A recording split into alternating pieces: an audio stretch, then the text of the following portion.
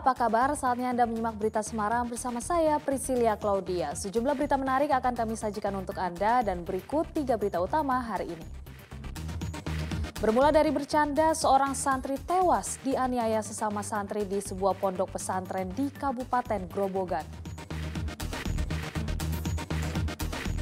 Belasan pelaku pembalakan liar di kawasan proyek strategis nasional Waduk Jatibarang Semarang ditangkap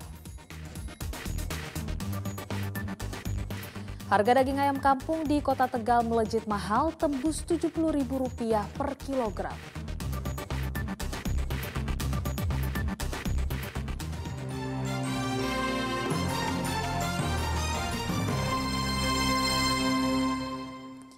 Seorang santri tewas dipukul teman sesama santri di Pondok Pesantren Alhamidah di Kecamatan Keradenan, Grobogan. Diduga pemukulan terjadi lantaran pelaku tersinggung saat bercanda dengan korban. Tim forensik Polda Jawa Tengah mengautopsi jenazah santri berinisial TNU berusia 14 tahun di RSUD Purwodadi Kerobokan minggu malam. Sejumlah anggota keluarga dan kerabat korban menanti di luar ruangan. Proses autopsi dilakukan untuk mengetahui penyebab pasti kematian korban. Sebelum jenazah diautopsi, polisi telah meminta keterangan sejumlah saksi, termasuk terduga pelaku pemukulan. Selain itu, polisi juga telah melakukan olah tempat kejadian perkara di Pondok Pesantren Al-Hamidah di Desa Kuwu, Kecamatan Keradenan, Kerobokan. Dari keterangan saksi, kematian santri TNU bermula dari saling canda antara korban dan pelaku.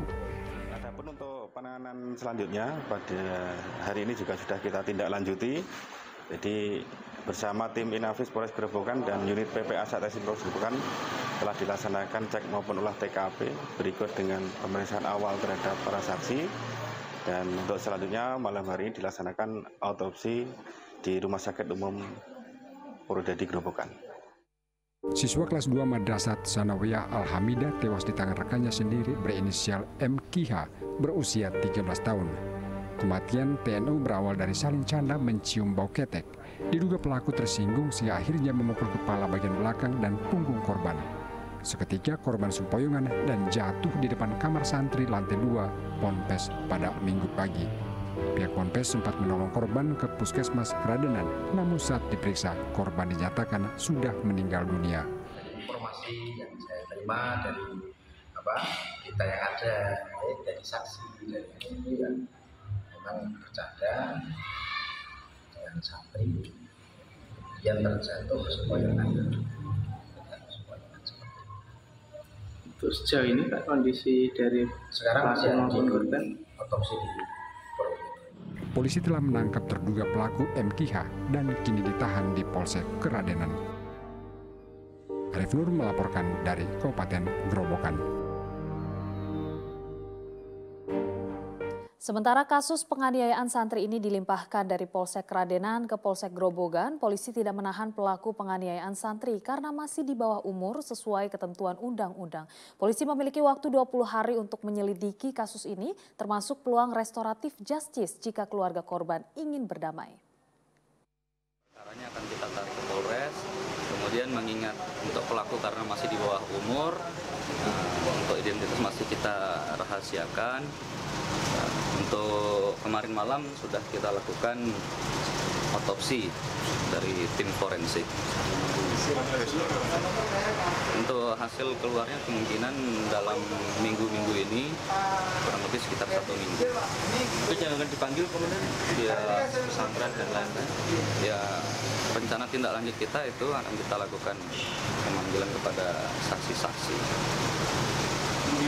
di bawah umur kan apakah perlu diperiksa juga tidak juga ya nanti akan kita dalami kita lihat juga kondisi dari uh, pelakunya terlapornya Komplotan pencuri kendaraan roda 4 dibekuk tim Jatan Ras Polrestabes Semarang. Komplotan telah beraksi tiga kali di wilayah kota Semarang. Polisi menemukan barang bukti mobil Elf di sebuah kebun kosong di daerah Karangawen, Kabupaten Demak. Mobil ini merupakan barang bukti hasil pencurian terakhir yang dilakukan tiga anggota komplotan pencuri mobil. Bersama barang bukti, polisi menangkap dua pelaku, satu di antaranya ditembak di bagian kaki karena berusaha kabur saat dibekuk. Komplotan tercatat sudah tiga kali mencuri mobil di wilayah kota Semarang. Polisi menyita dua mobil hasil curian. Komplotan ini tergolong nekat. Terakhir mereka mencuri mobil Elf yang terpa terparkir di pinggir Jalan Pahlawan hanya berjarak 100 meter dari Mapolda Jawa Tengah.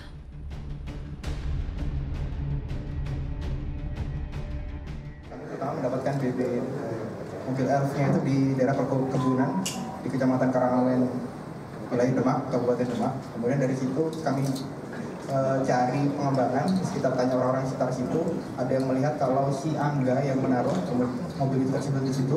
Kemudian kita tangkap langsung di rumahnya. Dari Angga kita e, menuju ke Pak Sunarto ini.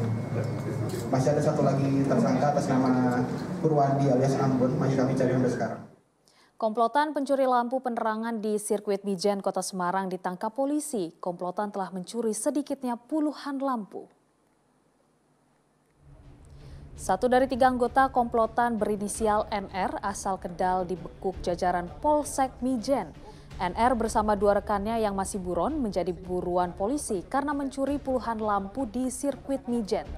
Berdasarkan pengecekan sementara, para pelaku telah mencuri 52 lampu penerangan dengan kerugian mencapai 32 juta rupiah. Komplotan mengambil bagian aluminium lampu untuk kemudian dijual kembali. Kasus pencurian lampu terungkap setelah Dinas Pemuda dan Olahraga Kota Semarang melakukan pengecekan dan mendapati kabel lampu berserakan di bawah tiang lampu. Polisi menyita barang bukti berupa peralatan yang dipakai pelaku saat mencuri sejumlah bohlam. Mereka dijerat pasal pencurian dengan ancaman kurungan penjara 7 tahun. 52 titik lampu hilang. Ya, nilai kerugian sekitar 32 juta. Kemudian eh, dari Dispora Kota Semarang membuat eh, laporan pengaduan ke kita.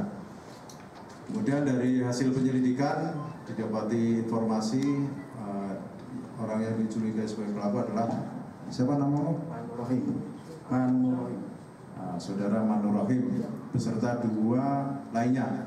Namun yang dua informasi yang satu lari ke luar pulau, yang satu lari lari ke luar kota.